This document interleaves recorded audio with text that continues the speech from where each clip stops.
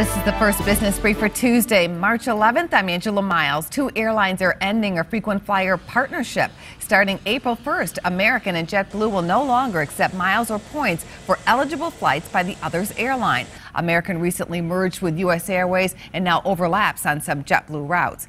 The SEC reportedly is investigating possible market manipulation by currency traders. Bloomberg News says regulators want to know if currency traders at the world's biggest banks distorted prices for options and exchange traded funds by rigging key rates. The SEC and CFTC declined to comment. And AT&T is stepping up its game against T-Mobile in a battle over lower prices. Both cell phone carriers are are cutting costs. At AT&T, it's dropping its 2 gigabyte data plan to $65. T-Mobile will offer 1 gigabyte for 50. That's a first business brief. I'm Angela Miles.